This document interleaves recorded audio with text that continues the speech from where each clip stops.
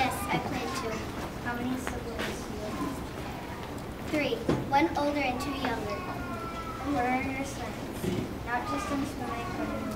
I'm a people person. I like to talk. What do you like most about high school? High school swimming. It was fun. Where are you going to college? I like to go to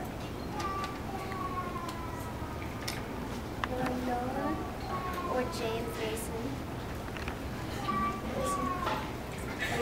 Yourself doing in 10 years? I like to be a nurse practitioner for pediatric oncology. What is your favorite stroke? Butterfly. Where was your favorite meet? Regional meet at Freedom Center last year. What is your favorite event? 200 butterfly. Did you always want to swim, or did you parent, or did your parents make you? My parents never made me swim.